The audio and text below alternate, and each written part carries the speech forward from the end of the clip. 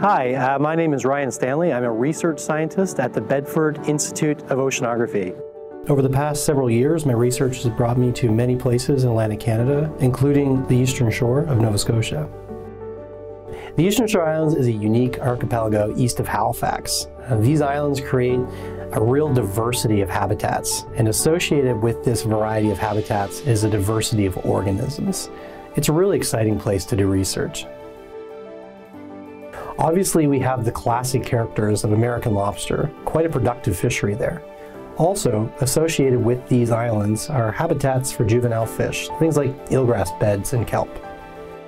Eelgrass is a unique ecosystem. It creates this natural complexity. Usually, juvenile fish use these habitats for protection. It creates a variety of food sources and really a diversity of organisms associated with this amazing habitat makes it a really important area for conservation. So we know that we have juvenile salmon, which use these inshore areas. We also have thriving populations of sand lance. There are juvenile cod, sculpin, and really a variety of fish and groundfish species that use this area.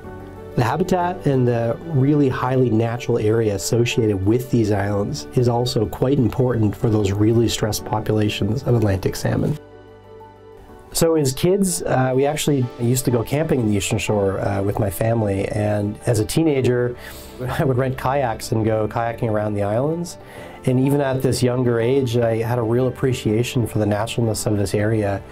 And I hope it's something that I'll be able to bring my own kids to in the future and really get to enjoy all the things Eastern Shore have to offer.